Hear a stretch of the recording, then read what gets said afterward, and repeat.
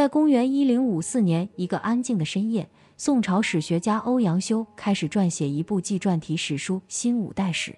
可是就在写两本纪开篇的时候，欧阳修却气得把手里的笔狠狠地摔到了地上，然后还仰天大骂了一句：“天下无良久矣。”欧阳修之所以生气，是因为开篇的两本纪就让他看到十分恶心的人物和事情。这里的梁其实指的就是终结大唐帝国的后梁，同时其也是开辟五代十国、乱世序章的第一个王朝。那么欧阳修为何看到这个后梁后气得破口大骂呢？其实他生气的不是后梁，而是后梁的开国君主朱温。古代有诸多的开国皇帝，而且大部分都是值得称赞的人物。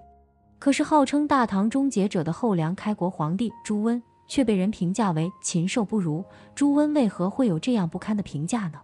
下面听我详细道来。朱温出生于一个名叫砀山县五沟的小地方，父亲和祖父都是有学问的人，虽然没做过官，但是在当地很有声望。朱温上面还有两个哥哥，而且都是很老实本分的人，但是朱温却并不喜欢务农，反倒整日游手好闲，甚至天天做着成为江湖豪杰的美梦。在当时的街坊邻居眼中，朱温宛如一个有着中二病的地痞小混混。朱温从行为上来看，颇有点像汉高祖刘邦当年的架势。这样的人在盛世就是祸害，可是，一旦到了乱世，就反倒成了英豪。唐朝末年，群雄并起，老百姓们支持并参与的人非常多。朱温在这个时候也加入到了黄巢的起义军队伍。接着，朱温因立了军功而升了职，成为了都虞侯。后来，因为他大破夏州、福州有功，又被任命为同州防御使。但是，朱温却在此时转而投降了朝廷。唐僖宗看到朱温归顺朝廷的消息，十分激动，便立刻下令授予朱温左金吾卫大将军的官职，又给他赐名为全忠。朱温也不负唐僖宗所望，在之后的战斗中。剿灭了前老板黄巢起义军的大批人马，他一点也没顾及这些人曾经都是他的同袍兄弟。朱温又接连在陈州之战、蔡州之战中立下赫赫战功，地位也随之变得水涨船高。甚至在凤翔之战中，朱温将被宦官幽禁的唐昭宗强行带走，然后让他复位。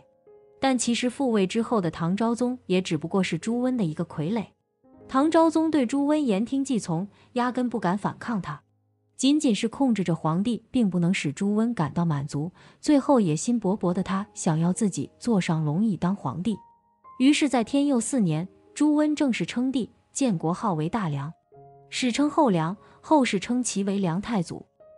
这时候话又说回来了，一般在庙号中带一个“祖”字的皇帝，还真就很少有像朱温这样行为不堪的人。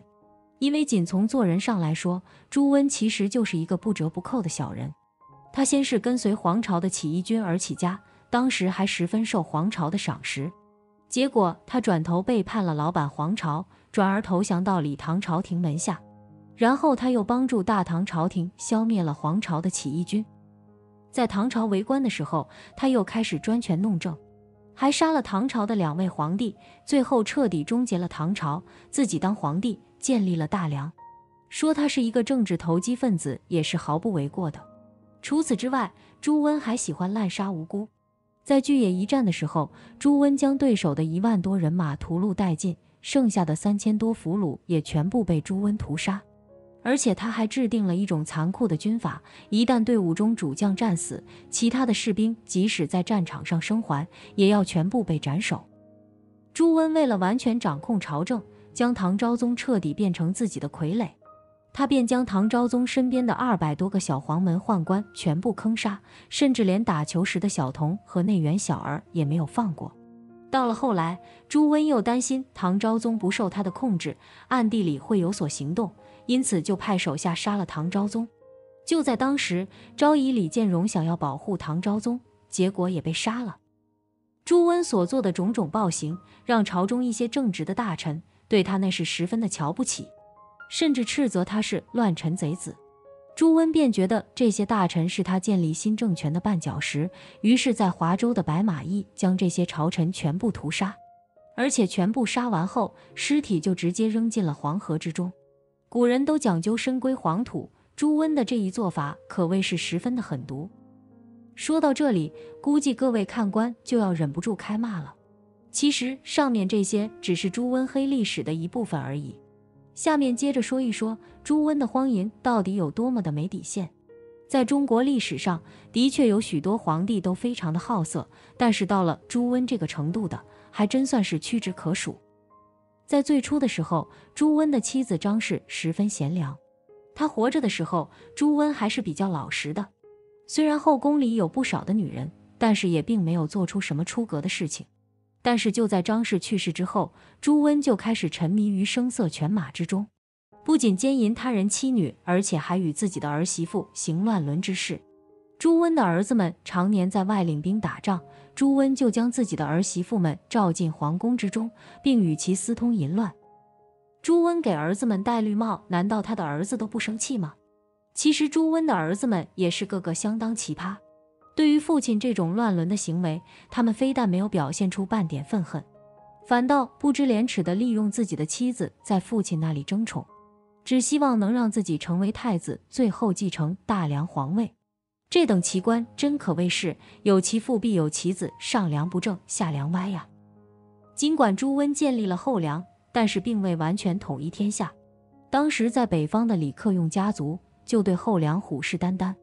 李克用逝世后，妻子李存勖继位。相对于李存勖而言，朱温儿子们的能力其实都不咋地。当朱温的儿子们跟李存勖打仗，然后战败归来，朱温甚至当场感叹道：“生子当如李存勖，李克用虽死犹生。我的儿子与之相比，简直就是猪狗一样的废物。”正因为如此，朱温对自己的儿子那是越来越没有了信心。尤其是在乾化二年，朱温亲征河北，却大败给李存勖，这让朱温内心难以承受。当时便表示：“几个儿子皆非其敌手，我将死无葬身之地。”而且朱温在称帝之后，也一直没有立下太子，太子之位一直空悬，这导致了朱温的众多儿子个个开始蠢蠢欲动。在朱温晚年的时候，虽然他有七个亲生儿子，但是他却想将自己的养子朱有文立为大梁太子。就在当时，朱有文并不在都城之内，朱温就将传国玉玺交给朱有文的妻子王氏，让他将朱有文召回来。不料这件事却被朱温另一个儿子朱有圭的妻子张氏给听到了。张氏随后便急匆匆地告诉了朱有圭。朱有圭大惊失色，他不甘心自己就这样与皇位失之交臂，所以就想要先下手为强，杀了朱温，夺得皇位。于是他联合自己的老部下韩秦，趁着夜色，急匆匆地开始起兵造反。夜半之时，朱温被窗外的嘈杂声惊醒，便十分震惊地问道：“造反的是谁？”朱有圭回答道：“不是别人，而正是我。”接着他便派手下的马夫去杀朱温。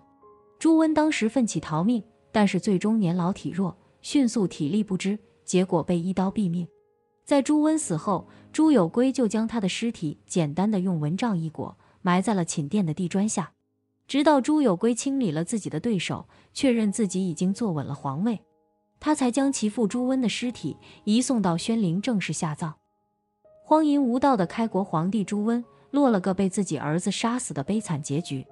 不知各位看官有何感想呢？其实能够做到开国皇帝的朱温，也并不是一无是处。他在政治方面还是有些建树的。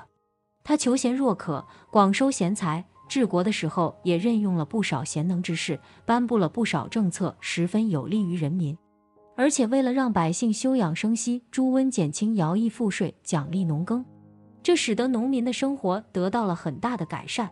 但是朱温的很多荒唐减分行为，却让他的总体形象大打折扣。最终让他得到了禽兽不如的负面评价。